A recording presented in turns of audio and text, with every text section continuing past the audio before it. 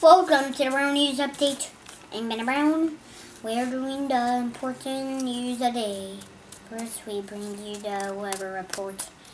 Wet outside, that's bet rain. Run out. Today, third Christmas, it's gonna be buy your Christmas trees in December. Fourth, the is are slippery uh, when wet. Be more careful. I'm Bennett Brown, and you're watching the Brown News.